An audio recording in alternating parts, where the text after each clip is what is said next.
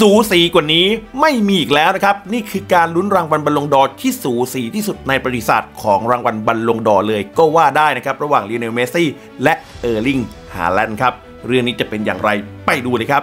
เมื่อค่ำคืนที่ผ่านมานะครับนิตยสารฟรองซ์ฟุตบอลนะครับที่มอบรางวัลบัลลงดอร์ให้กับนักเตะนะครับก็ได้มีการเปิดเผยรายชื่อนักเตะ 30 คนนะครับที่มีลุ้นรางวัลบัลลงดอร์ในปีนี้นะครับนี่ก็คือรายชื่อทั้งหมดนะครับตัวดังๆก็ติดเข้ามาเพียบ แต่หนึ่งในนั้นไม่มีนักเตะอย่างคริสเตียโนโรนัลโดครับเป็นปีแรกในรอบ 20 ปี ที่โรนัลโดไม่มีชื่ออยู่ใน 30 คนนี้แหละครับนอกจากไม่มีชื่อของโรนัลโดแล้วนะครับ นักเตะอย่างมาคัตแรดฟอร์ดอีกหนึ่งคนที่คาดการณ์ว่าน่าจะติดใน 30 คนนี้ ก็ไม่มีรายชื่อเช่นกันครับ และจาก 30 คนครับที่มีรายชื่อลุ้นรางวัลบัลลงดอร์ในครั้งนี้นะครับมีนักเตะที่มาจากพรีเมียร์ลีกถึง 12 คนด้วยกัน และสโมสรที่มีนักเตะติดทีมเข้ามามากที่สุดเรือใบสีฟ้าแมนซิตี้ครับ ติดมาถึง 7 คนด้วยกันครับ จาก 30 รายชื่อที่ว่านี้นะครับก็คงไม่ต้องไปพูดอะไรกันมากมายครับเพราะท้ายที่สุดแล้วนะครับจะเหลือเพียงแค่ 2 คนเท่านั้นนะครับในการลุ้นรางวัลบัลลงดอร์ในปีนี้ อย่างที่เราทราบกันแหละครับนั่นก็คือเออร์ลิงฮาแลนด์และลิโอเนลเมสซี่เท่านั้นแหละครับ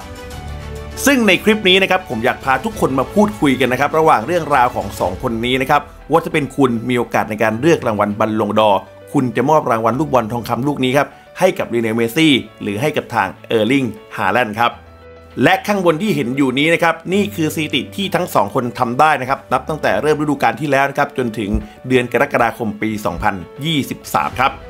โดยลิโอเนลเมสซี่ครับยิงประตูไปทั้งหมด 41 ประตู และทำอีก 26 แอสซิสต์ครับ รวมครับทั้งประตูแล้วก็แอสซิสต์มีไปถึง 67 ประตู การมีส่วนร่วมในการยิงได้กับทีมนะครับ ส่วนทางฝั่งของเออร์ลิงฮาแลนด์นะครับยิงไป 56 ประตูทำอีก 10 แอสซิสต์ครับมีส่วนร่วมกับประตูของแมนซิตี้ไป 66 ลูกด้วยกันครับส่วนผลงานของลิโอเนลเมสซี่นะครับในฤดูกาลที่ผ่านมาสิ่งที่เขายอดเยี่ยมกว่าใครเพื่อนแล้วก็สุดยอดที่สุดเลยครับ นั่นก็คือการคว้าแชมป์ฟุตบอลโลกกับทีมชาติอาร์เจนตินานะครับหลังจากที่ลิโอเนลเมสซี่ทำผลงานได้อย่างสุดยอดในฟุตบอลโลกครับยิงไป 7 ประตูนะครับช่วยอาร์เจนตินาคว้าแชมป์โลกสมัยที่ 3 ได้ครับแล้วก็เป็นแชมป์โลกสมัยแรกของเจ้าตัวด้วย ที่สำคัญครับในรายการฟุตบอลโลกลิโอเนลเมสซี่ครับก็ได้รางวัลนักเตะยอดเยี่ยมประจำทัวร์นาเมนต์นั้นไปด้วยเลยครับนี่คือรางวัลที่สุดยอดมากๆของลิโอเนลเมสซี่ครับส่วนผลงานในระดับสโมสรกับเปแอสเชเมื่อฤดูกาลที่ผ่านมาครับผลงานโดยรวมก็ถือว่าไม่แย่เลยครับ ทั้งสถิติในการยิงประตู แล้วก็สถิติในการแอสซิสต์ซึ่งในรายของการแอสซิสต์ครับลิโอเนลเมสซี่ได้รางวัลนักเตะที่แอสซิสต์มากที่สุดในศึกลีกเอิงฝรั่งเศสเมื่อฤดูกาลที่ผ่านมาด้วยนะครับ ส่วนแชมป์กับเปแอสเชเมื่อฤดูกาลที่ผ่านมาครับคว้าแชมป์ลีกเอิงฝรั่งเศส แล้วก็ต้นฤดูกาลครับคว้าแชมป์ฟุตบอลซูเปอร์คัพของฝรั่งเศสไปได้แล้วครับ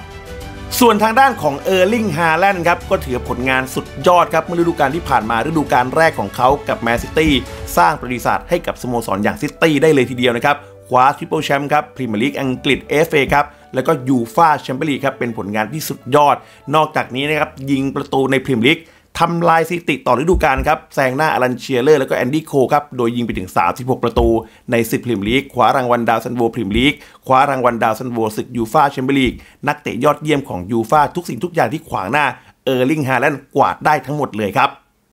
ก็ถือเป็นปีที่สูสีสุดๆเลยนะครับ ให้เมสซี่ก็ถือว่าโอเค ให้ทางฝั่งของเออร์ลิงฮาแลนด์ก็ได้นะครับ เมสซี่คว้าแชมป์ฟุตบอลโลกและทุกสิ่งทุกอย่างที่เขาทำให้กับทีมชาติอาร์เจนตินา มันสุดยอดอยู่แล้วนะครับ4ปีฟุตบอลโลกมีครั้งหนึ่งยากมากครับ ที่ใครสักคนหนึ่งจะทำได้เหมือนเมสซี่ ส่วนนักเตะอย่างเออร์ลิงฮาแลนด์ก็เหมือนกันครับ นักเตะคนหนึ่งที่ต้องรักษาฟอร์มการเล่น ให้สม่ำเสมอ 8-9 เดือน ในการลงเล่นเพื่อคว้าทริปเปิลแชมป์กับทีมได้นี่มันก็ถือว่าไม่ง่ายเหมือนกันครับที่จะมีใครสักคนหนึ่งทำได้เหมือนกับเออร์ลิงฮาแลนด์ครับต้องบอกเลยว่าปีนี้สูสีกันโคตรโคตรเลยครับ สนับสนุนคลิปข่าวโดย New Suzuki Ertiga Smart Hybrid แรงท้าฝนกับราคาพิเศษ เริ่มต้นเพียงแค่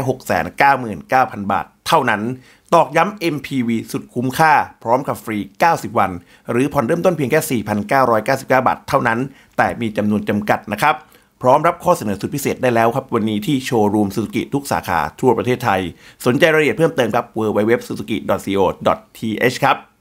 และเพื่อนๆเลยครับที่กำลังชมคลิปนี้อยู่ครับ คิดเห็นอย่างไรกันบ้างครับ กับรางวัลบัลลงดอร์ในปีนี้ ถ้าคุณสามารถเลือกได้ให้ใครคว้ารางวัลบัลลงดอร์ในปีนี้ครับจะเลือกเออร์ลิงฮาแลนด์หรือจะเลือกลิโอเนลเมสซี่ครับ คอมเมนต์ส่งหัวใจเข้ามาพูดคุยได้เลยครับ ดูคลิปจบแล้วนะครับ ตั้งเป็นรายการโปรดกดไลค์กดแชร์ และที่สำคัญอย่าลืมกดติดตามช่องโฟนตุงไว้ด้วยนะ